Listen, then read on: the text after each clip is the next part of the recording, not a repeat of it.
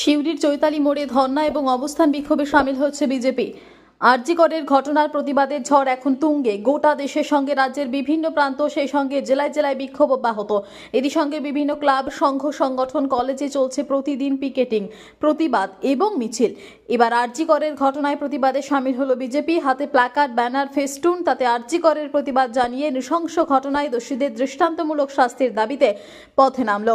প্রতিটি জায়গার পাশাপাশি এদিন দেখা গেল শিউরির চৈতালি মোড়ে ধর্না এবং অবস্থান বিক্ষোভে সামিল হচ্ছে বিজেপি।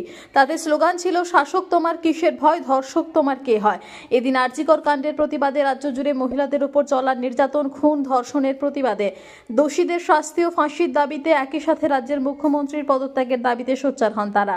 এদিন হাজির ছিলেন বিজেপি জেলা সভাপতি ধ্রুব সাহা, সাধারণ সম্পাদক শ্যামসুন্দর গড়াই সহ সভাপতি দীপক দাস সহ বিশিষ্টজনেরা